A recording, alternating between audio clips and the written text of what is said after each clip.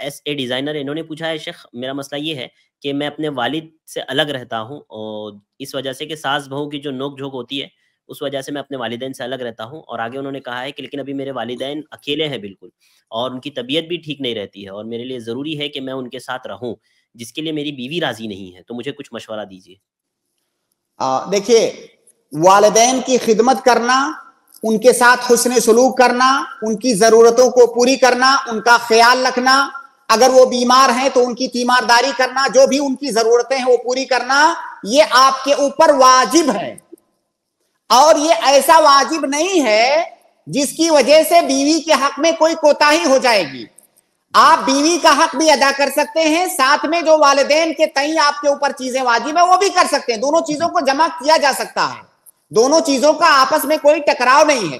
बीवी का आप हक अदा कीजिए, वालदेन के तई जो आपके ऊपर वाजिब है, उनकी खिदमत करना, देखभाल करना, ये सारी चीज़ें भी आपके ऊपर करना वाजिब है। अगर आपकी बीवी इस बात पे राज़ी नहीं है, पहले तो आप उसे मनाने की कोशिश कीजिए, उसको समझाइए, दीन का हवाला दे करके।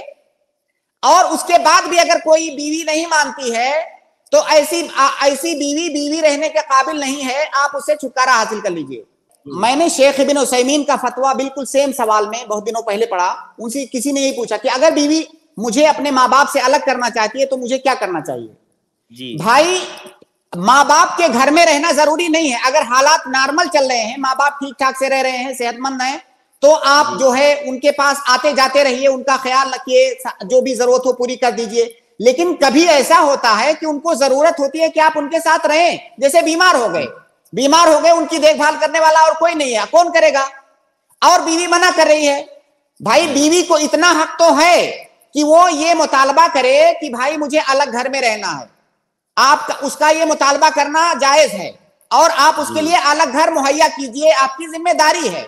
लेकिन उसके बाद ये ज़रूरी नहीं है कि भाई आप अपने माँ बाप के घर जा नहीं सकते वहाँ रात नहीं गुजार सकते उनसे मिल नहीं सकते। अगर कोई बीवी ऐसा मुतालबा कर रही है तो मैं नहीं समझता हूँ कि ऐसी बीवी के साथ आप रह सकते हैं। शेख इबिन उसैमीन ने यही फतवा दिया ऐसी बीवी को छोड़ दो। जी जी। जजाक खैर शेख।